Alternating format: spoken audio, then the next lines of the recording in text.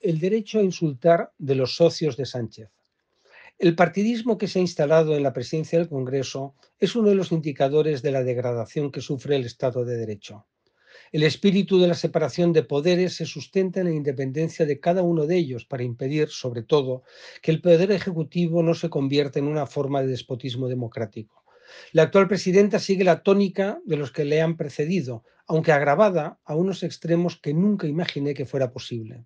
La realidad es que se ha convertido en un ministerio más del gobierno, es cierto que ha sido un problema endémico desde la transición, porque los titulares de este órgano han hecho siempre lo que ha querido el presidente del gobierno, que es además el líder de su partido. A ninguno se le ocurre mostrar un atisbo de independencia, porque es algo que desgraciadamente se paga muy caro en política. La actitud sumisa de Francina Armengol con los requerimientos del PSOE y sus aliados resulta escandalosa.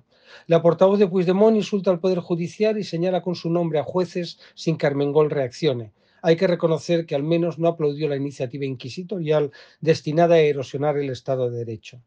Estos días en que los dirigentes socialistas se escandalizan por el disparate de la piñata de Sánchez en la calle Ferraz, ya sabemos que los únicos autorizados a quemar retratos del rey, de magistrados o de políticos son los independentistas catalanes y los herederos políticos de ETA. A esos sí que se puede insultar, dejar o acusarles de comportamientos delictivos sin ninguna prueba. La degradación pasa por legitimar el insulto como forma de actuación política. Es bueno recordar qué es lo que se hacía en la Unión Soviética contra los enemigos del Estado. El primer paso degradarlos, humillarlos y finalmente llevarlos a los tribunales populares, que ahora serán los ilegales e ilegítimos comisiones parlamentarias que quieren Puigdemont y Junqueras. La barbaridad de la piñata es una cortina de humo perfecta para el sanchismo y la izquierda política y mediática. Es una lástima que Sánchez no introduzca cordura en sus filas.